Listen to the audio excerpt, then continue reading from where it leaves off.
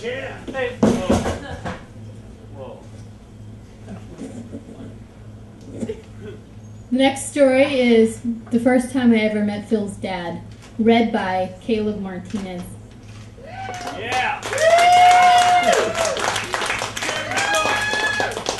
I just punched her boobs. I did. Hey, what's up? It sucks that I have to follow up Gary Busey. All right, it's my turn. Let's take a look at this. The first time I ever. dot dot dot. The first time I ever met Phil's dad, I knew he was the dad for me. Did you know that he's the vice president? That means he's the second in command at the company where he wo- works. Kind of like Dan Quayle for the US of A. He sits around all day and tells other people who aren't the vice president what to do. Then they do it. He gets to tell them that they did it wrong. I asked Phil's dad if he would be my new dad, and he laughed. Probably because he has a really good sense of humor. Oh, I love my new dad. Shit. This kid's fucked up, whoever wrote this. Anyway. Phil told me yesterday that his dad's office has a big, giant room with a computer in it that they have to keep really cold, or else the computer will melt and the building will catch on fire. I hope they keep it really cold because all the time, because I don't want the building to catch on fire while Phil's dad is inside of it. He might have to jump out the window and he might have to break his leg if he did that because it's a long way down and his office is on the 43rd floor. It's practically the 44th floor if you count the basement. Phil's dad let me come to work with him one day, but he wouldn't let me touch anything. Probably because everything there is important. they have all these tubes with squiggly lines all over it.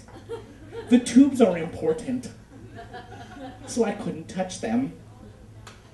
My dad, well, my old one that is, has a really boring job.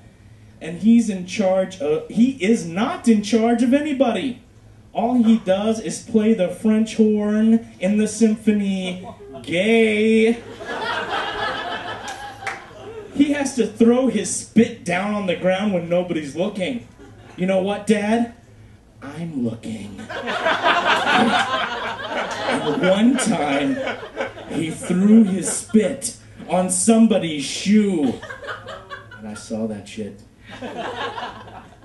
I went out to a restaurant with Phil and Phil's parents once, and his dad did not even have to pay. He had a card made of plastic, and they took it away and gave it back to him. I'm sorry. I I had to laugh because the way plastic was spelled in this is P L A S T I C K. And it makes me laugh every time I read it. I'm sorry.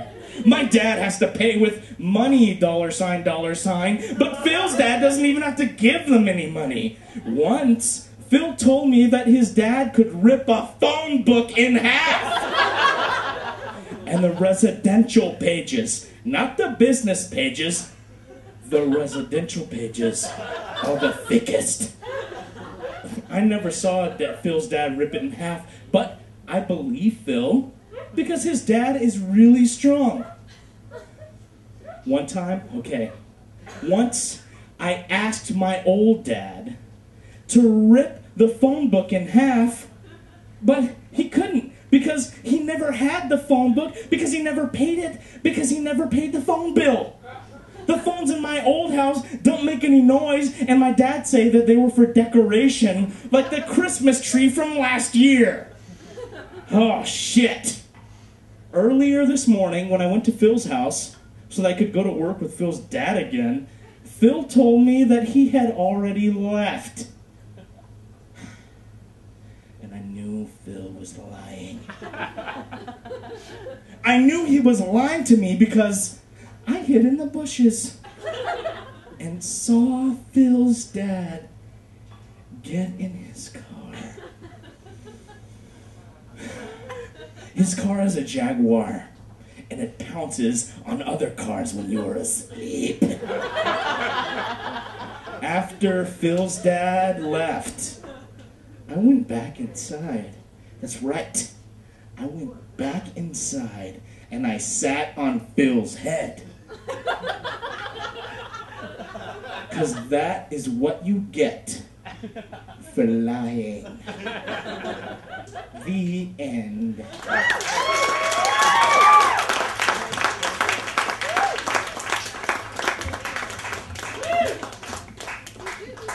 one,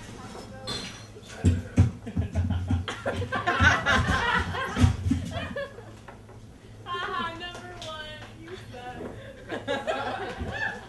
Oh! Oh, I'm so sorry. Oh, shit. Oh, I'm so sorry. Is it? Oh, it's over here. I thought I lost my Haha, Kalob, I have a boyfriend. Oh, is that what he is? I thought you were a lesbian. I'm number two. Lesbians are okay, Kalob. Welcome to 2008.